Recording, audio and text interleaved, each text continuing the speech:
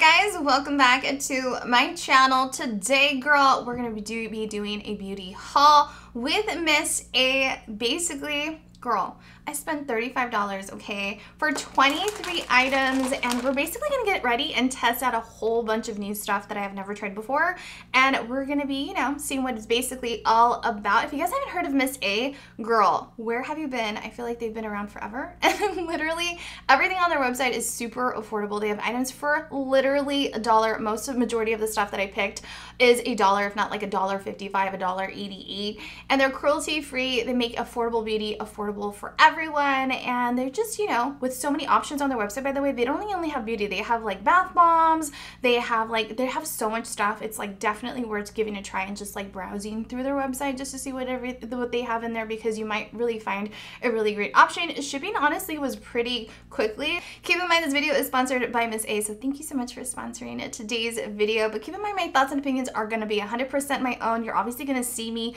do my makeup as well, so you're going to make your own judgment for yourself. So I'm very excited for today's video. Hope you guys enjoy. Everything will be listed down below in the description box. So please don't forget to like, share, and subscribe. It really does help out my channel. And let's jump on in, girl and get ready for the day. I'm gonna start off with our base. I've already prepped my skin for today's video, so I've already applied on like my skincare sunscreen. And in case you're interested, I will have that linked down below in the description box. So we're gonna go ahead and start with concealer. That is usually the first step. And I'm gonna go in with the Dose of Colors concealer. And this is in shade Light Medium 11. I absolutely love this concealer, you guys. It blends really nicely. It doesn't dry down too quickly and gives me the coverage that I'm looking for. And I love the doe applicator and so I'm just going to go ahead and apply it on the areas where I typically conceal down the bridge of the nose, upper lip, chin area, and forehead as well. And Before I blend, I like to go in with the Rare Beauty Foundation, and this is in the shade 230 Neutral. It is pretty runny, but the coverage is really, really nice. And now to blend everything out, I'm actually going to go in with my beauty sponge. And I'm just going to go ahead and just blend everything together. And then anything that I have left over on my sponge, I'm just going to go ahead and drag it down the neckline as well, just because I want everything to be really nice and blended as one. Now that we finished on our base, I'm going to go in with the AOA Studio Perfect Setting banana powder, you guys. This is literally a dollar. Love the size of it. I'm not a huge fan of loose banana powder, but you know what? I've learned to love them because I feel like they're so much more finely milled. So I'm going to go in with my Alamar Cosmetics Brightening Brush, and I'm just going to apply on a little bit of this powder on the back of the top. And then with my brush, I'm just going to pick up a little bit of the powder and then set all the areas where I've applied on concealer throughout the T-zone area. And now for face powder, I'm going to go into the Urban Decay, I think it's called Stay Naked The Fix Setting Powder. This is a foundation powder, and this is shade 50 NN. I absolutely love this powder, you guys. I quickly finished it. I'm so, so sad, but I absolutely love the undertone to it. It holds up my makeup throughout the entire day, and it gives me the coverage that I'm looking for. So I'm to go in with my face powder brush from Real Techniques. I'm just going to go ahead and set the rest of the areas throughout my face where I have foundation. And so now we're to go ahead and contour. And I picked up two different shades because I wasn't really sure which shade would work best for me and how they'd look in person. So I picked up Latte and I also picked up Frap.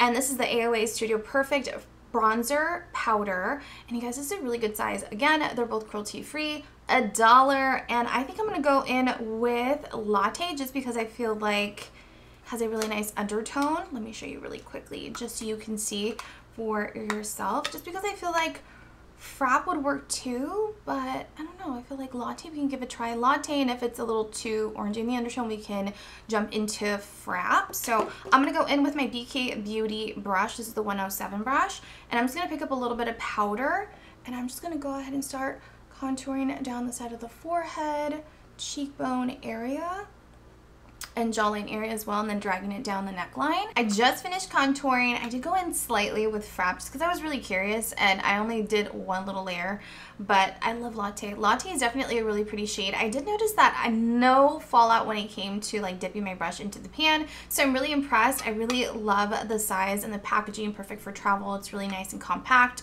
Love the price point, a dollar and literally it blends like butter on the skin. And I really am impressed, you guys. I really love the undertone. Didn't notice any patchiness or anything. It's really easy to blend everything out. So for brows, I'm actually going to go in with the AOA Studio Sculpting Brow Pencil. And this is in shade medium brown. It is a dual end. So one end obviously has the pencil. It is automatic and the other end has our spoolie, which I love that they included that. Literally, again, this is a dollar, you guys. and I really love the undertone. It reminds me a lot of the Anastasia Beverly Hills Brow Wiz, which is one of my all-time favorite brow pencils. And you guys know here, traditionally, I like more of a thicker brow pencil. So I'm really excited to try this out. So I'm just going to go ahead and start on my brows at the edge and lightly shading them through. And so far it feels really creamy. I like the undertone. It doesn't have like a weird reddish undertone. And so far so good. So I'm just going to go ahead and finish doing my brows off camera and I'll be right back and give you guys an update if I notice anything weird about this brow pencil. Brows are on. Let me tell you, I'm not even joking you guys, this brow pencil for a dollar, I'm amazed. I'm surprised. I can't believe how creamy the formula is, how pigmented it is at the same time, but the undertone to the pigmentation is really, really nice. I didn't have any issues whatsoever drawing in my brows, especially blending out my brows after drawing them in. It's really nice. I'm really impressed by the formula. I love the affordability of it. So this is definitely something that I'm going to keep using even after this video, especially because it is literally a dollar you guys. I'm super impressed. And for our eyes i picked up two different eyeshadow palettes and i also picked up two different blushes. I'm not lying to you from the eyeshadows to the blushes they look exactly the same from one another. And i went in and purchased the this is from the cherry blossom collection and this is called the sakura season eyeshadow palette. Love the flowers on there. Love that it's clear. And it comes with nine different eyeshadow shades in this palette which is really pretty. You guys know here on my channel i love a good nude and i love the color source. So i'm really excited to try this out and it literally is a dollar and 88 cents. The other eyeshadow palette is a lot smaller but it comes with eight different eyeshadow colors. It runs for a dollar 88. It came in the mail slightly broken so I did my best to like press down onto the eyeshadows to kind of salvage the palette but it is so so pretty. I'm really excited to try it out again. Perfect everyday type of like neutral nude eyeshadow shades. So we're definitely going to use a little bit of both. And as for the blushes, let me show you really quickly because they look exactly the same and I'll give you guys more detail once we get to blushes, but look, they look exactly the same, right? so I'm gonna go ahead and dive on in. I've already primed my eyes. I'm gonna go in with a flat shadow brush, and I'm just gonna apply on a little bit of this nude shadow that's right here in the corner of the palette. I'm just gonna go and apply it throughout my lid as my base shade. For our crease, I'm actually going to go in to uh, the smaller eyeshadow palette. This is called Ochada, Ochado. and I'm going to go in with my Luxie 205 tapered blending brush and I'm going to pick up a little bit of this really pretty kind of like soft peach shadow and I'm just going to go ahead and pick up a little bit of that shadow and apply it within the crease of the lid, doing windshield wiper motions. Oh, I want something a little bit more rich, so I'm actually going to go into this orangey shadow back into the Sakura Season palette and I'm just going to go in and pick up a little bit of shadow. So far, I have not noticed any fallout when it comes to these eyeshadows. So, so far, I am really impressed just because I was like honestly expecting, you know, a little fallout, especially since they're so affordable. So I'm just going to go in and back into the crease of the lid and apply on the shadow within the crease doing windshield wiper motions and building the pigmentation. And now going into the Ochado palette, I'm going to go in to that really dark chocolate brown that's in here. I'm going to use the same blending brush that we were just using because I feel like it's like the perfect size to go into those small little pans. And I'm just going to go and apply within the corner of the eye, blending it in to the lower crease of the lid. And of course, we're gonna go ahead and smoke out the bottom lash line. I'm gonna go back into the Sakura Season palette. I'm gonna go in with my Luxie. This is the 217 tapered brush, and I'm just gonna go ahead and apply it in the lower lash line, connecting it to the upper lash. Going back into the Ochada palette, I'm gonna go in with my BH Cosmetics tapered blending brush and I'm to pick up a little bit of that chocolate brown and apply it on the lower lash line. I usually like to do this last step towards the end, like when I'm about to curl my lashes, but for some reason I just want to apply this on just so I can get a feel for the look that I'm creating. So I'm going to go in with the AOA Studio Gel Eyeliner, and this is in shade Dark Brown. This is literally a dollar, and you guys, let me quickly do a quick swatch. It is so creamy, the consistency.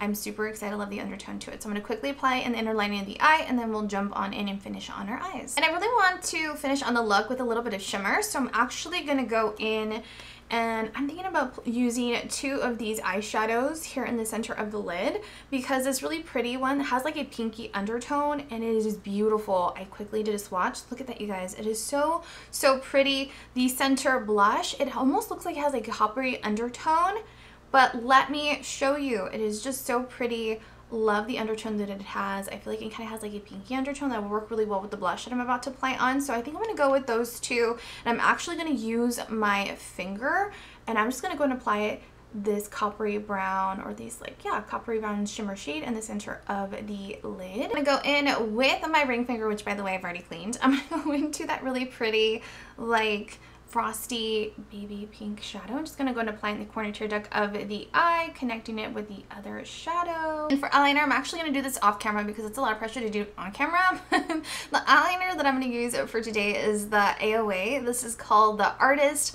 Fine Tip Liquid Eyeliner. This is a dollar. The shade that I picked up is in the shade brown. And let me quickly show you how pigmented it is, you guys, because it is so pigmented. Love the undertone to it. And I'm really excited to do a little, you know, little cat eye winged liner. So I'll be right back. So I just finished on my eyes and let me tell you that eyeliner is really, really nice. Very pigmented. I didn't have any issues doing my winged liner. Surprisingly, I actually should have filmed it on camera.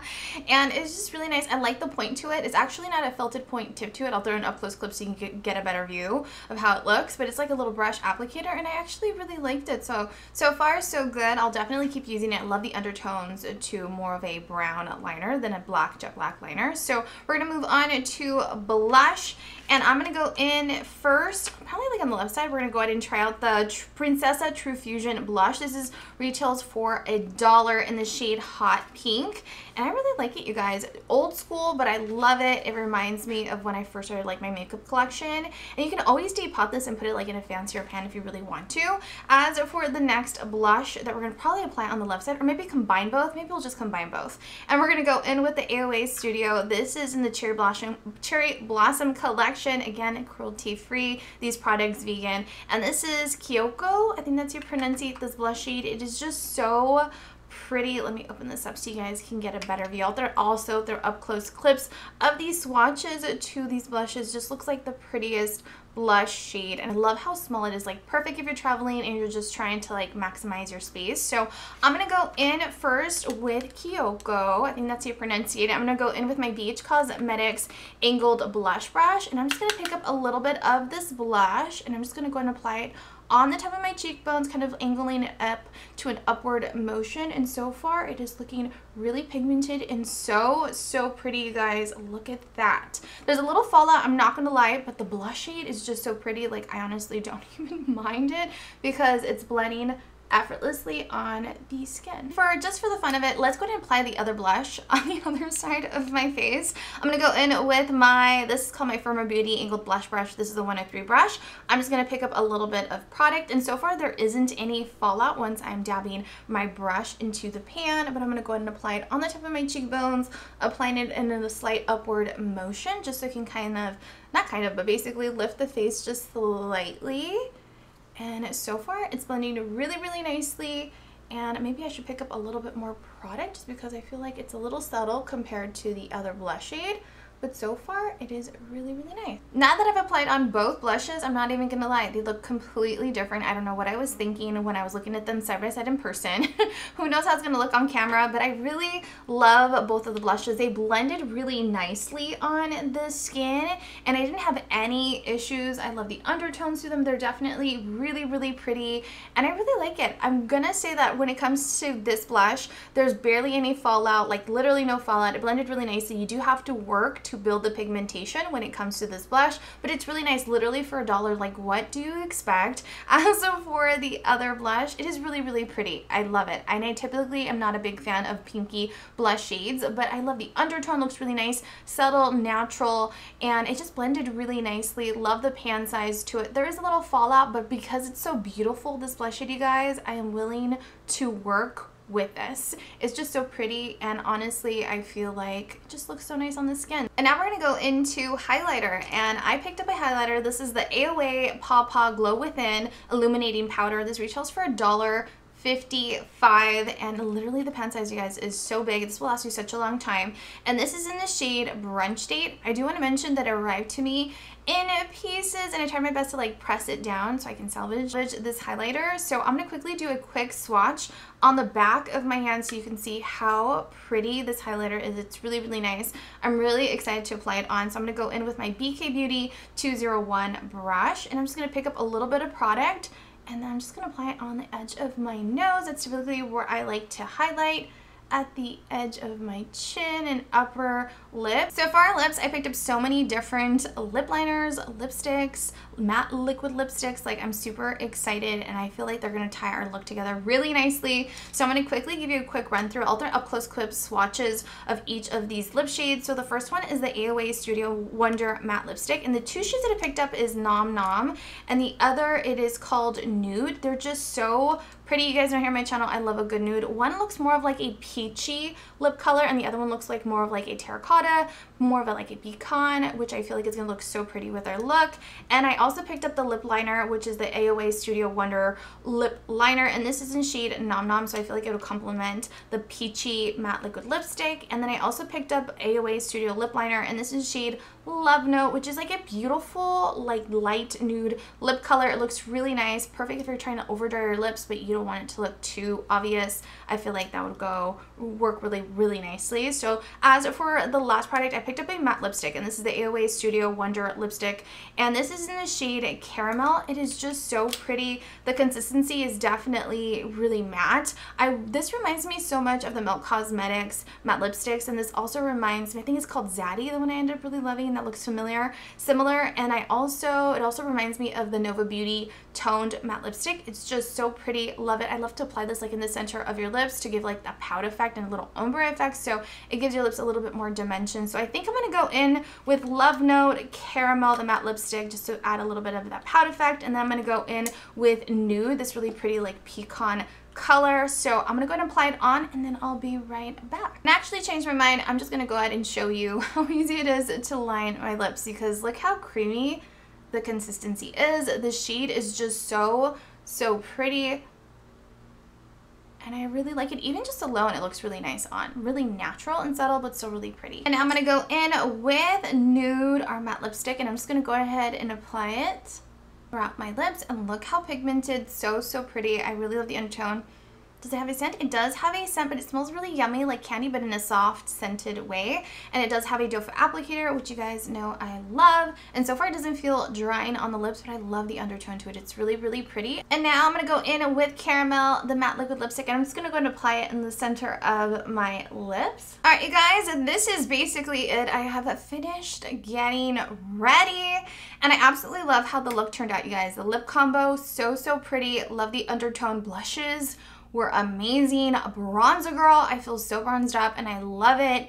And I absolutely love the eyeshadows. I'm surprised how pigmented they were and how they blended. And I really love the eye look that I've created for today. The eyeliner, like even the gel liner, it's all really, really nice. And I'm honestly blown away that literally I spent $35 and I was able to basically have a full look. So I feel like this is perfect if you're on a budget, if you just want a good deal and you just don't want to spend literally like $10 on just an eyeliner or even $10 or $15 on an eyeshadow palette. Like I feel like this is a really great option because I feel like there's some true gems for us to try out out there. This literally is really, really nice, you guys. I love the look that I turned out and comment down below on your thoughts. I'd love to know if you've ever tried Miss A. Love the affordability, love the fact that it's cruelty free. Like they care about animals. Like how do you not love that? So I hope you guys enjoyed today's video. If you have any questions, comment down below, ask away. Thank you so much, Miss A for sponsoring today's video. And as always, I will see you all in my next video. I love you all so, so much. Bye!